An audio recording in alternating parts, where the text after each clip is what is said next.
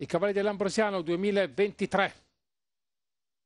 che vedono partire bene quelli di fuori con Canto Corale che prova a sfondare nei confronti di Don Chicco, poi Bucara insieme a Pirù. Tempesti si mette quinto in corda, affiancato da Pangiari, più dietro invece sono Sean insieme a Mordimi. Canto Corale che ottiene il comando, bisogna solo capire che tipo di andatura vorrà scandire in testa. In seconda posizione Don Chicco, contento di rimanere lì, avendo nella sua scia due della Darius Racing, con di dentro Pirù con i bracciali, a suo fianco Bucara. Poi ancora il Dormegliano Tempesti nei confronti al largo di Pangiari in giubba gialla con le maniche nere, seguito quest'ultimo da Mordimi con il cap a strisce. All'interno Sean in giubba viola con le maniche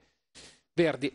In quest'ordine i cavalli con Don Chicco che viaggia a fianco di Canto Corale non pressandolo ma non consentendogli di fare perfettamente i suoi comodi. Pirù e Bucara che seguono su Tempesti che nel frattempo ha mosso dalla corda costringendo la corsia esterna a Pangiari. Poi ancora Sean a chiudere il gruppo Mordimi. In quest'ordine gli otto che si guardano ancora in faccia per una prima di parte di corsa molto tranquilla, con Canto Corale che è sempre in vantaggio su Don Chicco, poi ancora Bucara e Peruzze, Tempesti e Pangiari al largo di tutti, gli 800 metri della verità quelli che devono affrontare i cavalli con canto corale che all'intersezione delle piste comincia a muovere le mani su Don Chicco e Bucara, di fuori Pangiari, poi ancora Sean, Tempesti e Mordimi, canto corale in fuga a traguardo lontano, provando a rubare il tempo agli avversari, con Tempesti che si butta al largo di tutti, Sean che prova a recuperare, Pangiari che rimane in quota, così come lo stesso Bucara, mancano 400 metri scarsi con canto corale che è in fuga. Dal ritorno di Tempesti che adesso si butta al largo, poi Sean insieme a Pangiari, canto Canto Carole davanti su Tempesti che lo prende sotto tiro in mezzo ai cavalli c'è Sean poi ancora Pangiari e Mordimi che sta finendo bene Canto Carole davanti Sean che si insinua su Tempesti che non cambia marcia nell'ultimo tratto è Sean che passa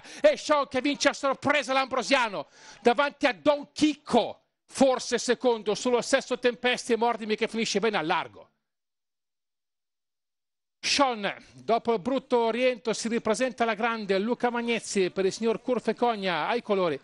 Il signor Caroli Chereches al training per il secondo posto, strettissima tra Tempesti che forse ancora pizzica secondo su Don Chicca Mordimi.